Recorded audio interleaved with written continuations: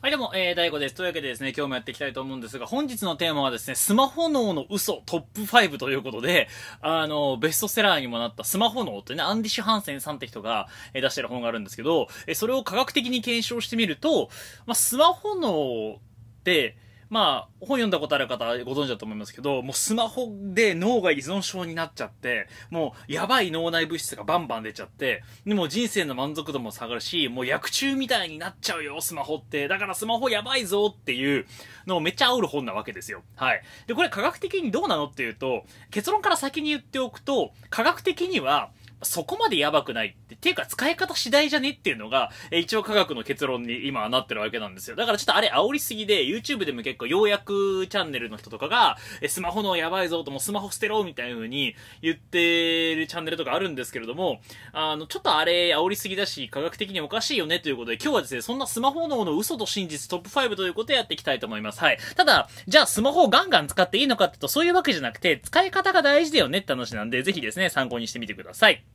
はい。えー、というわけでですね、第、えー、と5位からやっていきたいと思います。今日主にカルガリー大学の研究をベースにご紹介していきますけれども、まあよくね、あの、スマホをね、あの、ばっか使ってる人ってメンタルの状態が悪くなったりとか、依存症的な傾向を作ったりとかするんじゃないのっていうことが、えー、結構ですね、まあ、あの、最近のね、巷に出てる本とかでは話題になってるんですけれども、科学界ではどちらかっていうと、SNS は確かにたくさん使ってる人はメンタルが、えー、弱くなる、まあ、鬱になりやすくなったりとかね。で、あとは人間関係悪くなったりたりしてるよねっていう研究もあれば、実は SNS を使うことによって、かえって人生の満足度が上がる人間関係良くなったりとか、社会的なつながりが増えたみたいな、そういう問題とかも出てるわけですよ。で、あとはよく言われるのが子供。えー、なんかスマホをたくさん使っている子供って、なんかすごい勉強ができなくなったり、集中力がなくなったりとか、っていうことを話題に出して、まあ結構触り立ってる人たちがいるわけなんですよ。で、この現象って実は定期的に起きまして、昔はね、あの、ゲーム脳ってのありましたよね。ゲームをやったりすると、なんか脳が縮むから良くないとかね、あの、日本でも頭のおかしいどっかの知事が、なんかね、子供へのゲームは1時間にするっていう、なんかしょうもない条例みたいなものを決めたりとかした人もいたじゃないですか。でも皆さんご存知ですか？人類の歴史上、昔、同じようにやり玉に投げられたものがもう一つあるんですよ。これ何かっていうと、これです。本本なんですよ。本をたくさん読んでるとダメな人間になるって言われていた時代も昔はあったんですよ。すごくないですか？今逆じゃん。本読んでる人は、いや、素晴らしいね。もう、そんな勉強してうんぬんかんぬんって言われるじゃん。そう。で、前はゲームがこれ犠牲になって、で、今回はスマホになってるわけなんですよ。だから正直、物事は使い方ですよね、と、え、いうふうにまあ皆さんご存知の通りなんですが、それが今スマホにもなってるんで、ちょっとね、突っ込み入れておこうということでやっていきたいと思います。えー、まずは第5位。えー、実はホニャララが大きいんです。はい。あの、これ何かっていうとですね、こちら、だだん。え、実はですね、個人差がめちゃくちゃ大きいんですよ、スマホの影響って。はい。あの、よく、あの、行われる研究って、スマホを1日の間に使っている時間が長くなればなるほど、まあ、その、例えばじゃあ、メンタルがね、弱くなっちゃったりしてるよねって研究とか確かにあるんだけど、でもそれって、スマホがいけないのか、それとも、スマホを触ってる人が、触ってる時間が長い人が、たまたま不健康な食生活をしたりとか、運動量が少ないとか、そっちが原因なんじゃねえかっていう指摘が、ずっと前からあるんですよ。まあ、実際にいろんな研究とかを見てみても、カラガリー大学の研究とかをちょっとのデータとか見てみても、もうおそらくスマホをたくさん使ってる人の問題点は、スマホが悪いっていうよりかは、スマホを触っている人は運動量が減って、で、夜中に触ったらどうなるかっていうと、睡眠の質が下がりますよね。で、結果メンタルが悪化してると。だから逆に言うと、ちゃんと定期的な運動をしている人が、夜中とか睡眠時間を削ったりして使わなければ、別に問題ないんじゃないって指摘が結構あるわけなんですよ。つまり使ってる側が悪いんじゃないかという指摘がずっとあるわけなんですね。だからかなり個人差が大きいので、もうスマホをたくさん使うから自分の子供はダメなんじゃないかとか、スマホをたくさん使っちゃうから自分はね、すごい中毒患者なんだって、もうどんどんメンタルダメになるんだとかって変な思い込みをすると、そっちの方が体に良くない可能性がありますんで、だからね、スマホを減らすっていうよりかは、使い方を変える方がはるかに大事なんですよ。で、ここをちょっと考えてくださいというのが第5位でした。はい。え、実は個人差が大きいっすよって話です。はい。続いて第4位。はい。第4位はですね、本当にやばいのはほにゃらら。はい。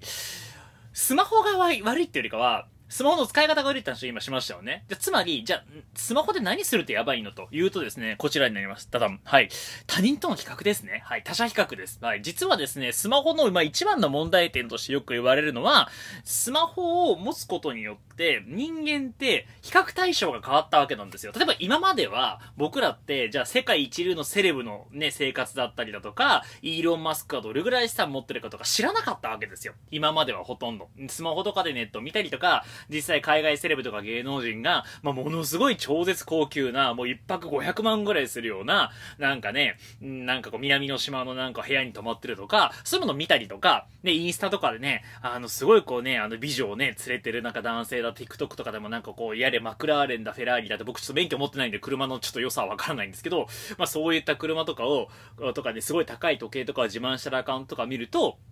どうなると思います？もう、僕らって普段は自分たちと同じようなレベルの人たちが付き合わないわけですよ。だからお金がない人は、そんなにお金がある人とね、自分を比べることが昔はなかったんです。でも今はどうなるかっていうと、お金がない人でも、スマホでインスタとか開けちゃえば、すぐにお金持ちの生活が見れる。つまりお金持ちと自分の持ってるものとか生活レベルの比較ができるようになっちゃったんですよ。え実際ですね、この問題点が大きいよねってことは、コーネル大学の研究とかでも明らかになってまして、最近のコーネル大学の研究だと、これ全部で11種類ぐらい実験をやってるんですけど、結論から言うと、人間ってこういう風に、そのスマホが生まれて、他人とね、自分を、しかもその自分よりも、の周りにいないような他人と自分を比べるようになったことによって、自分が他の人たちに比べて、非リア充だ。自分が充実してない、自分のね、人生は充実してないんだ、みたいな風に、思いがちになってき、えー来てるそうなんですよ。だから、やっぱりその、普通はさ、自分の周りの人としか、あの、比較ができなかったから、まあ、あいつらに比べたら自分はマシだよねって、これ、うぬぼれバイアスって言うんですけど、いわゆるこう、ね、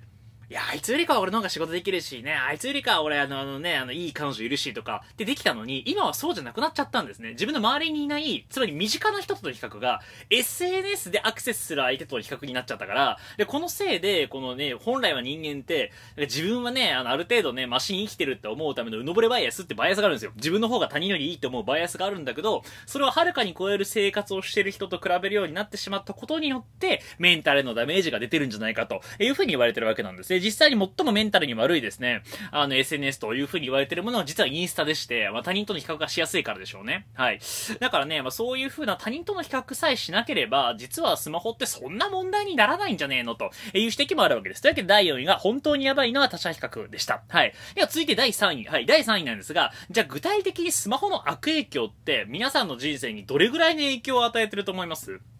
じゃあ、いっぱいスマホを長い時間見てしまったと。で、これが、例えば、睡眠時間を削ってみちゃうとか、まあ、そういうのはなしとして、もうスマホ自体を長く使っていること自体の問題って、人生にどれぐらいの影を落とすと思います？はい。何パーセントぐらいだと思います？はい。これ実はですね、なんと、たった1%なんですよ。はい。これ結構面白い研究で、あの、これあの、これとカルガリー大学の研究ですね。87の先行研究をですね、まとめまして、え行われた、まあ、メタ分析ってやつなんですけど、12歳以下の子供を対象にしてます。だから子供がスマホをね、すごい使ってるんだけど大丈夫なのかみたいなことをですね、気にしてる親御さんなんか参考になると思うんですが、いわゆるこう、スクリーンタイムって言って、まあ、スマホとか、まあ、いわゆる iPad、タブレットとかを見ている時間ですね。これスクリーンタイム、スクリーンに向かってる時間って意味なんですが、え、これが増えると、例えば子供の攻撃性とか、あとは集中力の低下とかってのはどれぐらい起きるのか、あとは不安とか、あとは抑うつね、うつの症状ですね、えーっていうのが悪化するのかどうか、みたいなことを調べたんですよ。で、ここれ実は調べたらですね、やっぱりちょっと悪いんじゃないかってデータは確かに出るんです。例えばスクリーンタイムが長い子供ほど確かに攻撃性とか、えー注意力の低下だったりだとか、そういったことによる問題行動っていうのが、まあ、増えるリスクは11%上がります。で、スクリーンタイムが長い子供ほど、やっぱり不安とかうつとか、えーのですね、そういったこう内面の問題ですね、心の問題を抱えるリスクは7%高くなるわけです。で、この実は影響は女の子よりも男の子の方、男子の方がスクリーンタイムの影響っていうのは起きやすいんですよ。このデータだけ見ると、うわ、もううちの声、あ、やばいやんと。うちの息子のスマホ取り上げようとか思う方いると思うんですが、実はこの研究よく見てみると、実は別なポイントがちゃんとありまして、全体的にね、こういったメンタルの問題、まあ、心理的なこの問題のうち、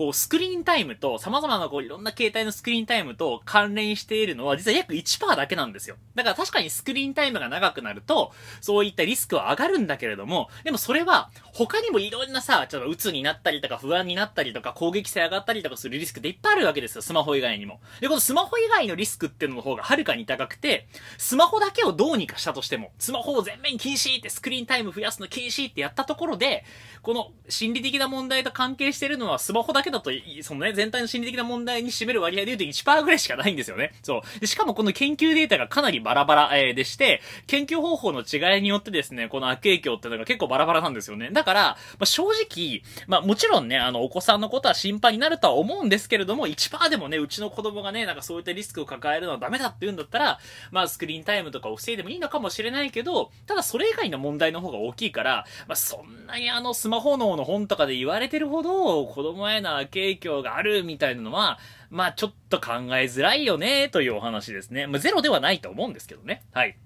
というわけで第3位がですね、悪影響わずか1%程度、まあ、メンタルな悪影響ですね。えー、ということでした。はい。続いて第2位。はい。じゃあ、SNS はと。うん。さっき言ったみたいに、じゃあ SNS で他人と比較するのは良くないと。ね。だから、その SNS の影響ってのがやばいんじゃないかと思う方いらっしゃると思うんですが、実はこれ、あの SNS がですね、えー、実はその僕らの人生の満足度をどれぐらい左右してるのかってことを、まあ、結構いろんな研究では言われるわけなんですよ。SNS に時間を使うんじゃなくて、実際に人と会うべきだと。ね。まあ確かにこれは言ってることはわかる。SNS をいっぱいやっちゃってるから、人間ってのは不幸になるんだというふうに言う人がいるわけなんですよ。脳内にやばい物質が出るとか言って。はい。じゃあ SNS のこの人生の満足度の影響ってどれぐらいなのかというと、こちらです。ただん。はい。0.25%です。はい。ほぼ無視できるやんって感じですよね。はい。こちらですね、オックスフォード大学が行ったあの研究でして、えー、オックスフォード大学ってこういった研究結構いろいろやってくれてるんですけれども、過去にオックスフォード大学行われた研究とか見てみると、スマホの利用時間と人生のこの満足度っていうのは実はほとんど関係ないみたいなデータが出てるんですよ。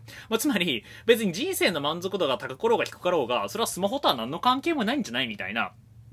話もですね、出てるわけなんですよ。で、もちろんスクリーンタイム、じゃあバンバンスマホ使って人と会わなくていいってそういうわけではないんですけれども、あんま関係ないんじゃねというふうに言われてるわけなんですね。だからみんなやっぱりゲームとかさ、なんかあのスマホとかさ、何か悪役にしたいんですよね。そう。で、こう自分が本当はスマホの使い方がダメ、人間関係に問題があるのに、ほ真の問題から目を背けるために、悪役を作りたくて今はそれがスマホになってるんじゃねえのというのがわかるそういった研究だったりするわけなんですね。はい。まあ、実際にですね、このオックスフォード大学が行った研究はですね、アンダースタンディングソサエティってっていうイギリスのデータセットを使ったもんで、2009年から4万世帯、えー、ですね、を対象にですね、えー、行われた研究。で、そこからですね、データを集めております。はい、えー、全体でだいたい12,672人のですね、10代の、えー、ティーネイジャーの人たちのデータを抜き出して、7年間分のですね、追跡調査を行ったと、えー、そういうもんなんですね。はい。で、結果何が分かったかまあ、これもデータもめちゃくちゃ多いかっていうとそういうわけでもないんですが、えー、実際 SNS の使用時間と人生の満足度の関係調べたところ、ほとんど関係なかったそうです。0.25%ぐらいしか関係がなくて、で、さらにじゃあ、人生の満足度が低い人がスマホを使ってるんじゃないかっていう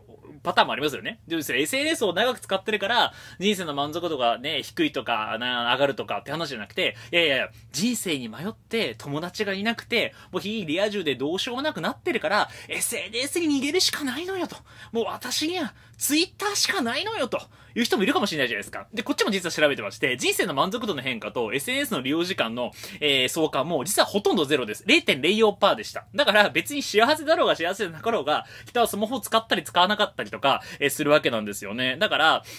もちろん人生の満足でのダメージは多少あるんだろうけど、まあ、ほとんど関係ないよねと。だから問題はスマホじゃないから、まあ、スマホのせいにして、スマホが悪いんだ悪いんだってスマホ一生懸命攻めたところで問題解決にはならんよということなんですよ。まあ、結構みんな騙されてますよね。はい。じゃあ最後。じゃあ第1位ですね。はい。えー、じゃあ、どういう使い方がやべえのかと。はい。実はね、あることをする人は、確かにスマホの悪影響はでかいんですよ。さっきの他人と比較するよりも、実はやばいものがあって、他人と比較するのもやばいんだよ。もっとやばいのがあって、このポイントだけ、この第1位のポイントだけ押さえておけば、スマホのダメージをむしろプラスに変えることができます。人生の満足度が上がったりとか、集中力が上がったりとか、幸福度が上がったりします。さあ、何かというと、こちら。ダダン。見るだけの人はやばいです。はい。え、実はですね、スマホが使い方次第で人生にプラスになるってことは今言ってきましたが、実はね、これね、あれなんですよ。見るだけの人がやばいんです。よく SNS、いや、私投稿しないんだけど見るだけなんですよねって人よくいるじゃないですか。まあね、一般の人とか、仕事とかで使ってなかったら、えそもそも SNS をやる意味ってあんのって僕いつも言ってますけど、実はね、見るだけの人が一番やばいっていう研究が出てるんですよ。で、これはあの Facebook を一応対象に行われた研究なんですが、まあ一般的に SNS 全体でもね、あの言えると、はい、いうところですね。で、これ面白いことにですね、実際この Facebook で僕この場合は使ってるんですけど、SNS を使うことで逆に社会的な信頼だったりとか、社会貢献のですね、精神を、えー、養ってくれたりとか、幸福度がアップするっていうデータとかも出てるんですよ。実際に SNS をですね、利用動中の、えー、実験の参加者の脳にですね、脳というか頭にこうやって電極をつけて、で、えー、どういう風にね、脳が動いてるかみたいなことを調べた、え研究とか見てみると、SNS に没頭してる人っていうのはですね、幸福感がアップしていたと、えいうことが分かったんですね。でね、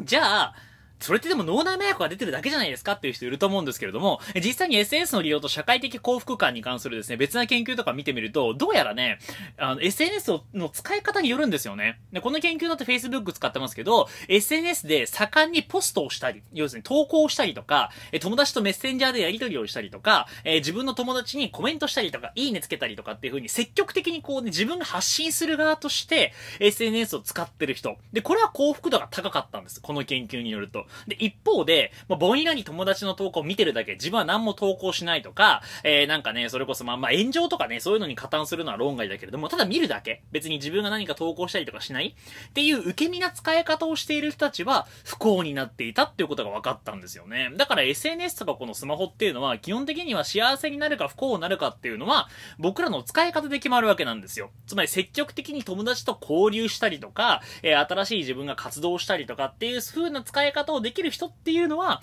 スマホを使えば使うほど幸せになっていくんだけれども、逆にただ見るだけとか、まあ、ヒリアな使い方ね、あんまりリア充じゃない使い方をしている人っていうのはですね、どんどんどんどんスマホによって不幸になっていくということなんですね。だから本当見るだけで積極的に使わない人は、確かにスクリーンタイムをやめたりとか、いわゆるこうスマホ脳の本を信じて、まあスマホの使う時間を減らしていくっていうのはありかもしれないんですけど、だからその自分がポストしたりとか発信するのは全然問題ないから、まあちょっと考え方変えましょうねというお話でした。ぜひ参考にしてみてください。というわけで今日の放送いかがだったでしょうか？まあ、正直ね、スマホ脳でみんなが、さんがピンときたりとか、やっぱスマホやばいよね、脳がやられるねって言ってる人たちって、多分ね、自分の集中力のなさというか、え、それをね、スマホのせいにしてるだけなんですよ。だってやっぱさ、自分が集中力ないって認めるのってきついけど、スマホのせいだって言ったら、スマホ手放せないし、手放せない原因が目の前にあるからしょうがないよねって風に納得できるので、多分言い訳に使ってるだけなんですよね。で、そういう方はぜひですね、集中力鍛えたら、えー、いいと思いますよ。はい、集中力って全然鍛えられます。僕ももともと学習障害じゃないかって言われたぐらい集中力なかった人間なんで、全然鍛えられます。で、一応僕もね、えー、超集中力って本とか出してますけど、そのアップデート版ということで、超集中力2.0と、えー、いうことでですね、集中力を研ぎ澄ませるアウェアネステクニックと、えー、いうですね、動画とか出してますんで、ぜひ番組の概要欄、コメント欄、あるいはこちらのボタンの方からチェックしてみてください。一応概要欄の方からおすすめの集中力本が今無料で、えー、ですね、オーディオブック聞ける、あの、リンクとかも入ってますんで、ぜひ概要欄の方からですね、超集中力2.0、D ラボとか、無料のオーディオブックチェックしてみてください。それではまた次回のシーンでお会いしましょう。バイバイ。